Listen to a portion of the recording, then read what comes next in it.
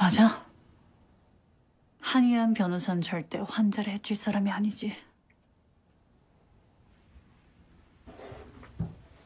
하지만 난 달라. 조정현이 전했을 텐데 당신 아들을 죽이진 못해도 지옥에서 살게 해줄 수는 있다고.